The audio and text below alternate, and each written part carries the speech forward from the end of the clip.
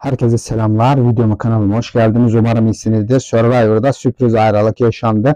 Tur abi Çamkıran maalesef ki arkadaşlar artık sakatlığından dolayı devam edemeyecek hale geldi. Peki arkadaşlar bundan sonra Survivor All Star'da neler bekliyor olacak? Tur abinin ayrılmasına veda etmesine üzülenler videoyu beğenelim sayımızı gösterelim.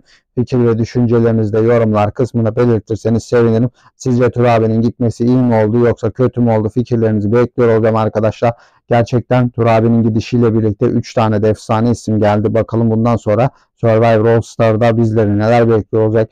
Hilmi Cem'in gelişi adeta bizleri ekranlara kilitleyecek gibi gözüküyor. Öte yandan biliyorsunuz arkadaşlar Sema Aydemir ve Avatar Atakan da dahil oldu. Bakalım arkadaşlar kırmızı takım hiç yenilmez mi olacak yoksa arkadaşlar bunlar bir rant kavgasına mı dönüşecek adada göreceğiz arkadaşlar. Kırmızı takım hep kazansın isteyenler videoyu beğenelim sayımızı gösterelim. Bir sonraki videomda görüşmek üzere. Sağlıcakla kalın.